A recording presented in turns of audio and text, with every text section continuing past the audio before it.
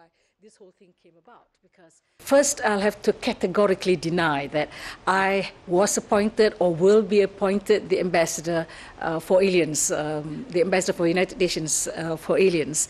Um, no, the committee is not discussing this very uh, this subject matter.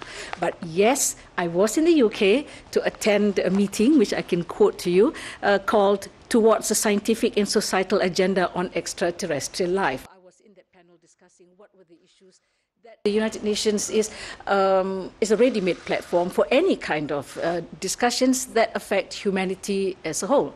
Um, and if it comes to extraterrestrial life, uh, so we've not talked about extraterrestrial intelligence only, but life as well. Uh, the United Nations is one is logically one of the many mechanisms and avenues for such discussions.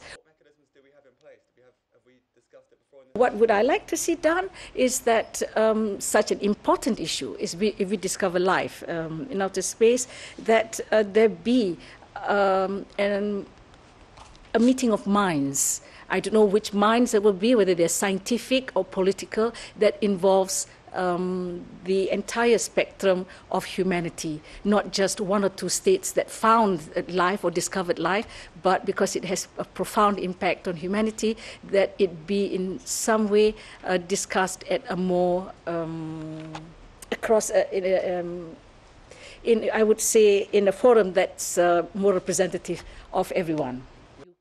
Venezuela, uh, Austria, and if you then look at the statistics and see if even one in a trillion of the one in a trillion stars um, might uh, host life. And when I mean life, it's not people like you and I, but uh, it could just be bacteria. When, when we're talking about life in this meeting, we're not talking about green aliens. Okay, sometimes this is the the uh, uh, the connotation of when we say extraterrestrial life. It, it, always must be green aliens with large, lovely eyes.